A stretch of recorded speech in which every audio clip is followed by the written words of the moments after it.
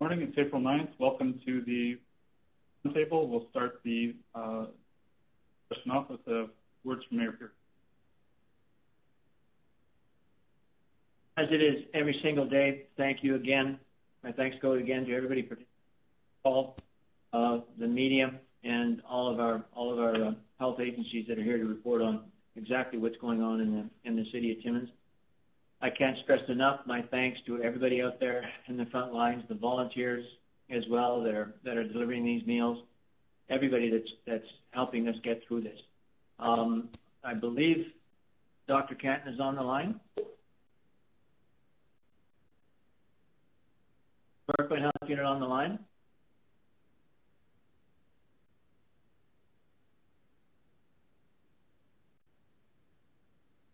You are, you're muted. We'll, uh, I didn't hear anybody call in. But we'll, I'll hand it over to Dave, and then we'll, we'll get on with the rest of the agenda. All right. Thank you, Your Worship. Uh, Dr. Catton just arrived, so we'll give her a couple minutes to uh, to get herself ready, and we'll ask for an update from the Timmins and District Hospital. Good morning. It's Kaylee Russell with the Timmins and District Hospital. Um, so we have no operational updates, but we just want to take a couple seconds to wish all of the frontline workers, essential workers, their families, and the community a safe Easter weekend.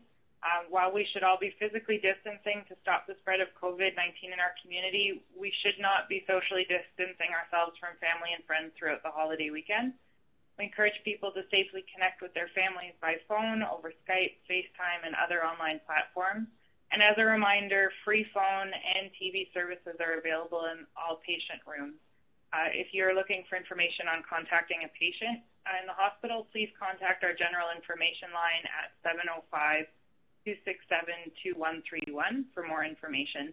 Don't invite COVID 19 to your dinner table this Easter weekend. Stay safe, stay home with immediate family members only, and please wash your hands often. Thank you. Thanks, Kaylee.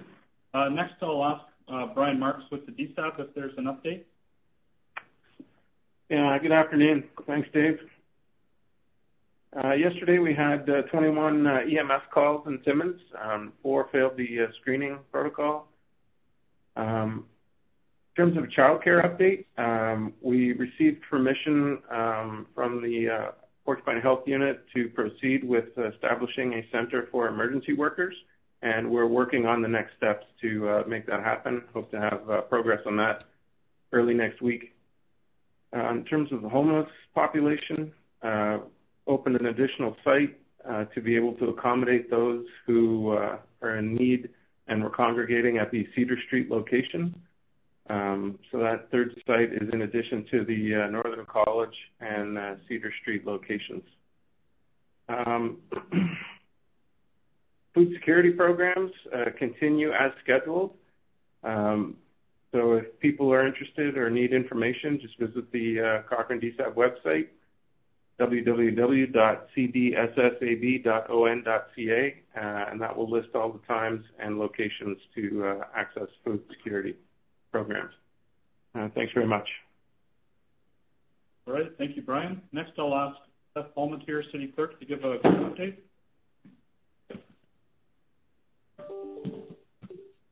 Who did you call on? I didn't hear that. Steph here, the city clerk. Okay. All right. Sorry. Thank you, Dave. Uh, good afternoon, everyone. Uh, just an update that enforcement services continue to visit establishments providing essential services, as well as they continue to respond to inquiries from the public. We would like to thank the businesses for their continued cooperation in complying with the provincial orders. We would also like to thank the public for doing the same. To date, enforcement services has not had to lay any charges, also, we'd like to just remind everyone that we are trying to ensure that everyone stays safe during this very difficult time, and we appreciate your cooperation and assistance in complying. Uh, we're working hard to keep our community safe and healthy, and we need your help to do so. Thank you. All right. Thank you, Steph. Um, on behalf of our uh, waterworks and uh, sanitation uh, groups, I'd like to remind people that disinfecting wipes and cloths shouldn't be flushed. Uh, you know, the city mantra is no wipes in the pipes. They do they do gum up the system. They jam up the pumps.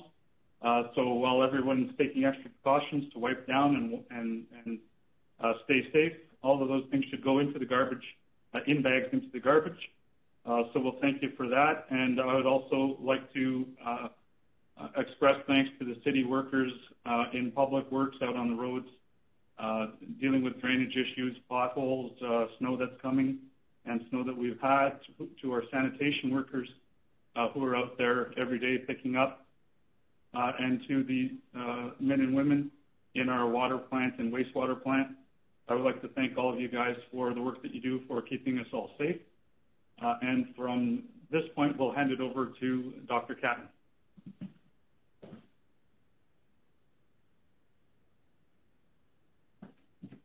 Thank you, Dave. Good afternoon, everyone. So for the Porcupine Health Unit, I can report today that as of, as of the end of the day yesterday, we had 562 tests completed across the region. The update today is that 34 of those are positive or have been positive, 415 are negative, and we now have 113 pending. 11 cases have now resolved, and unfortunately, as, as people are aware, and our condolences continue um, for the for the two loss of the loss of two lives that we've seen to COVID-19. So today, the Porcupine Health Unit is reporting three new COVID-19 cases among residents in the health unit area. The first two cases, so the first case is a female in her 50s. This one, we do not have any linkages to international travel, nor any other cases at this point in time. And so this is where we designate community exposure, meaning that it is another signal of local transmission, and again, heightening the need to follow all the public health precautions that we continue to share. The individual is in self-isolation and was tested on April the 4th. The next one is a female in her 50s as well. Uh, she was identified as a close contact of a case and has remained in self-isolation and following public health guidance and was also tested on April the 4th. The 34th case is a male in his 80s. He was identified as a close contact and was in self-isolation and following guidance as per protocol has unfortunately been admitted to hospital, so we're hoping for speedy recovery, that he does well along with all of our other cases, and he was tested on April the 5th. So again, we need to uh, again thank all of the contacts and cases and the healthcare providers that continue to work with us for all the contact tracing investigation, um, as well as the ongoing connections with the Porcupine Health Unit uh, to follow cases and their contacts throughout the course of, of the investigation and the follow-up time period that is required. We are confirming today that an employee of Extendicare Timmins has tested positive for COVID-19. The individual is a close contact of a confirmed case, which was not related in any way to the facility or work there. She has been in self-isolation since being identified as a close contact. Any resident who is experiencing symptoms have been tested, and results so far for COVID-19 have been negative to this point. As per the Ministry of Health guidelines, a COVID-19 outbreak has been declared at the facility. I just want to emphasize that the guidelines state that if any case in a staff member or a resident of COVID-19 is found, that an outbreak be declared. So I recognize the, the concern um, with respect to the term outbreak and the declaration of an outbreak, but I just want to confirm that at this point, we still only have the one case. Um, we think the potential risk to residents and staff is actually quite low for two reasons. One, the timeline that the individual was there and the fact that they were identified very early on in being a contact and that they have remained in self-isolation and continue to follow public health guidance, and we, we appreciate them for that. The second thing is that Extendicare, along with all of the long-term care and congregate settings, uh, homes within the Porcupine Health Unit area, have been following all of the guidance with respect to infection prevention and control. This is something they do on a regular basis with respect to influenza, and we've continued regular contact with all of these facilities throughout the COVID-19 preparation and response. And most recently had a meeting just last week, again providing further updates and guidance and checking in. So we are quite confident that Extendicare has really been doing an excellent job to protect uh, all of their residents and their staff, and they continue to do that and work with us on a regular basis. Today, the Fort Porcupine Health Unit COVID-19 information line is open from 8.30 to 7.30. The toll-free number and all of the updates are provided on the website. There are also local contact numbers for other PHU community offices. We are now uh, very pleased to announce that we have COVID-19 assessment centers not only in Timmins, Cochrane, Iroquois Falls, and Kapuskasing, but Hornepayne as well. And Hearst will um, likely be up and running next week, which is um, all of them are in large part due to immense, immense uh, work and collaborations amongst healthcare and community partners within each of these communities. And we thank them for that as we see increased need for assessment and testing going forward. So again, I can't emphasize enough that we are seeing community transmission of COVID-19 in our area. We yesterday saw changes with respect to testing, and we know that things change often with respect to a pandemic and with respect to public health's response to a pandemic. All of us are called on to change our practice and behavior as appropriate, and we do, we have, and we will continue as a public health unit representing all of our communities to be nimble and quick and to respond to the pandemic and the changing guidance that is based on evidence and the ministry guidance going forward. We will continue to follow the guidance of the Chief Medical Officer of Health, Dr. David Williams, and the experts of Public Health Ontario uh, and the Ministry of Health with respect to COVID testing. And we will continue to adapt to this evidence and the guidance as it evolves, and we will share that with all of our partners going forward. At this point in time, we did see uh, changes and, and discussions around increased testing. And I will just share at this point, we're still awaiting some, some further details, but we do know that the priority groups going forward remain um, very much the same in that increased emphasis on increasing testing for hospital inpatients and residents living in long-term care and retirement homes, as well as healthcare workers, caregivers, care providers, and first responders, uh, in addition to remote, isolated, isolated or rural or Indigenous and First Nations communities. So those are some of the some of the adaptations that we have today, and we'll continue to share that as things evolve, and we will continue to adapt. With Easter long weekend ahead, we know there is an ever increasing temptation to visit with loved ones and friends. Please don't. We again urge everyone to stay home do not travel out of your house or your community unless it's essential. Please stay home. When you need to go out for essentials, please maintain the two meter physical distancing from others when in public. This is absolutely critical at this point in time. We did hear from Dr. Theresa Tam, sorry, the Chief Medical Officer of Health from the Public Health Agency of Canada with respect to um, potential considerations for the use of homemade masks. Again, I just want to emphasize that this is a, an opportunity for people uh, to further um, protect community members, but again, keep in mind the potential limitations of the mask. We want to make sure that all of our medical stock masks are maintained for healthcare workers and first responders as needed, who are having more um, more close contact with potential COVID patients or confirmed patients as we need to care for them in acute care facilities. The use of a cloth mask is generally to protect others from yourself. So we want to make sure that people understand that it's not necessarily an added protection for yourself. However, it could be a way to consider increased protection for all of our communities as a whole and another opportunity to flatten the curve. Things to keep in mind are that if you are touching the outside of the mask when you've been out in public, that's now contaminated.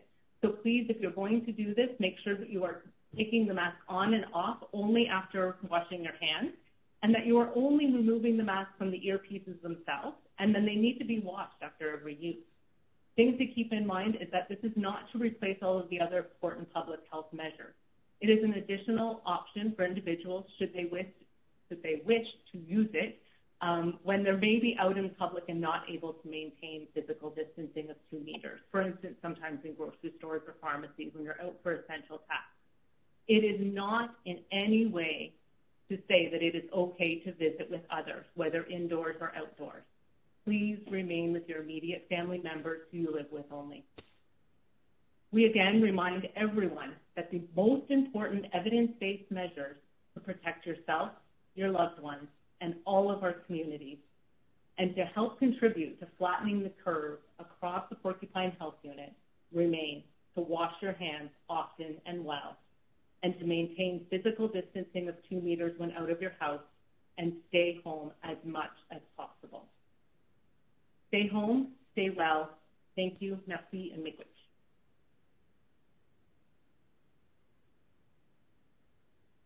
All right. Thank you, Doctor. Now we'll open up for a few questions from the media.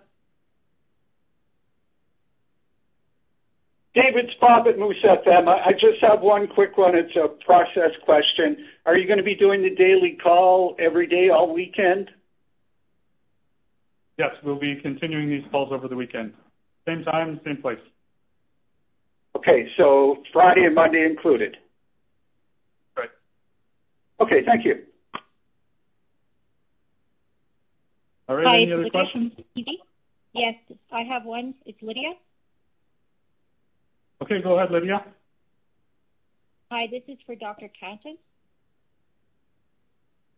Dr. Catton, um, you say that you are satisfied with the way things are being handled at uh, Extendicare Timmins, but I've been receiving private messages from from family members who have loved ones there, and they're very concerned with uh, the lack of social, uh, physical distancing and the lack of wearing masks.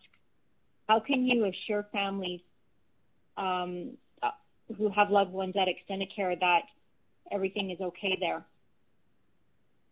Thanks, Lydia. I think at this point in time, it's really difficult to assure everyone. Um, and I think we need to recognize that fears for loved ones are real and they're important, and we need to acknowledge them and accept that individuals are going to have that fear and that concern.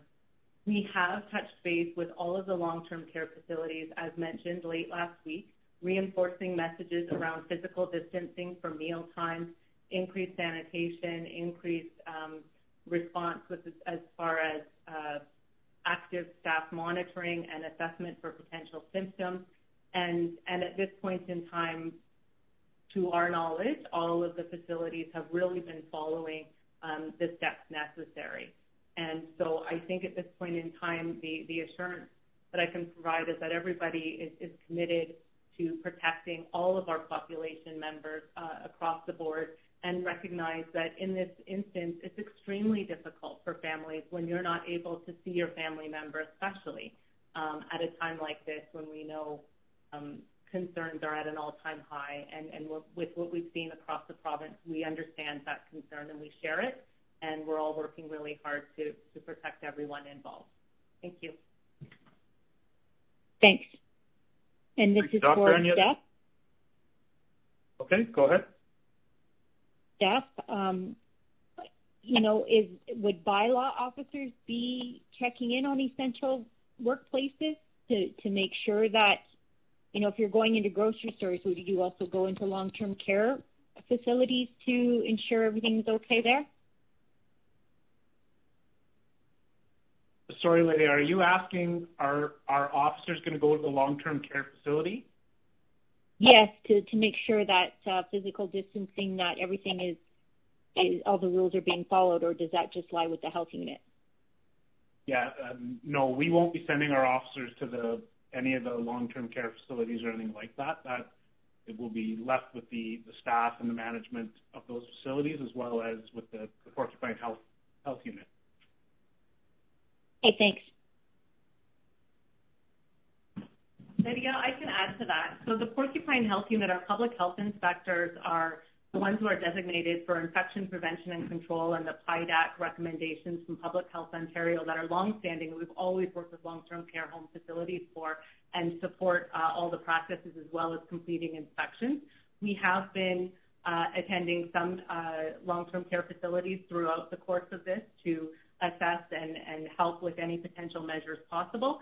And there was an updated um, recommendation and order from the Chief Medical Officer of Health last night that further strengthens um, the role of the public health measures, and all of the, the agencies have been um, provided this, and we're having another call with them again this afternoon. So there are further measures that are being instituted um, today across the province to protect this population in these facilities. Thank you. Thanks. Okay, thank you. Uh, any last questions before we ask Mayor Pirie first uh, closing comments? It, it's Gilles here. Can I just add one thing? Yeah, so uh, Gilles Bisson. Uh, just, I think people know, but if they don't know, there's going to be a session of the legislature on Tuesday in order to extend the emergency measures uh, for the province of Ontario. They have the authority by by by by uh, law to be able to do the first one, but after so many days, you have to have the legislature authorize a continuance. Uh, so we will be meeting on Tuesday with a small group of people at Queens Park as we did uh, under the uh, budget update. And uh, we are also dealing with an omnibus bill that deals with a number of uh, a number of ministries in order to be able to assist with their work that they have to do in the fight towards uh, trying to deal with COVID-19. Uh, last thing I just want to say, a, a shout out to everybody out there who's working, if it be in the private sector or in our healthcare system. Uh, they are doing an amazing job of making sure that service is there for all of us, and we appreciate it. And I really want to thank uh, Dr. Catton and her group for the uh, work that she's done in helping us deal with some of the issues uh, that we brought before them, and it's uh, worked out quite well. All right, thank you, uh, MPP Bisson, and of course, if you can bring some PPE back from We are Park. working on that, as you well know. we certainly appreciate it. Uh, at this point, I'll ask Mayor Pirie to, to close up. Well, thank you all again for participating, and uh, Dr. Catton for being here in person to deliver that uh, very important news, difficult news, tough news. Uh, as I said before, most important weekend, Easter weekend, long weekend. We know what we must do. We know that it's not the normal Easter. We know families want to be together, but it's only the immediate family that you're living with on a continual basis that should be together. It's a tough situation, tough situation for uh, people like me that have grandchildren that can't get together. It's a tough situation, of course, for everybody that has got a loved one uh, in extended care and other other areas that they won't be able to visit. And uh, it's an important weekend. It's an important weekend to remember all the advice that we've been giving, given. Um, just to echo what Dr. Catton said about not traveling, Mayor Bigger in Sudbury has requested that no one travel to Sudbury. It's the same message across the north. Stay here. Stay in your own town. You don't know what you're bringing with you. And no one likes an unexpected visitor. So remember all of that. Remember all of that. Very important uh, weekend for uh, Judeo-Christian religions. And perhaps tomorrow, Sunday, you can find it in your heart to say a prayer with, every, with everybody that's on the front lines, everybody that's affected, and working hard to keep us safe. So with that, I want to thank you. We will be here tomorrow. We'll be here Saturday. We'll be here Sunday. We'll be through. We'll be here throughout the weekend. This virus doesn't take a rest, and neither do we. So we'll be here for you. Thank you very much. Thank you.